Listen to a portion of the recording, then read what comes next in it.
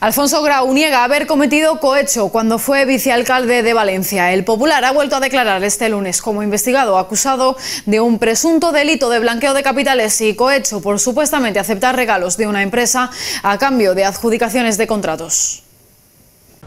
Alfonso Grau ha vuelto a declarar este lunes como investigado en un procedimiento penal.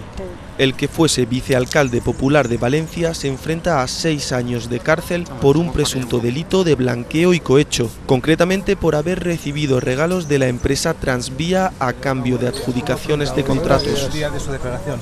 Buenos días. Nada, ¿para declarar? Buenos días. El empresario urbano catalán de Transvía habría regalado presuntamente dos relojes de lujo a Grau que éste posteriormente devolvió para cambiarlos por otros más caros, algo que ha negado el ex vicealcalde. Pues lo, adquirí, lo compré tranquilamente y fui a cambiarlos con toda naturalidad, pues porque no tenía nada que ocultar, porque era un reloj que, había- me habían regalado de mi familia y que iba ya, pues como he devuelto el 80% de las corbatas que me han regalado, por ejemplo. El propio urbano catalán ha declarado no haber hecho regalos a cambio de adjudicaciones. Jamás he regalado al señor Grau ni a nadie del ayuntamiento, ni nadie de la Generalitat, ni a ningún político, ni nada por el estilo.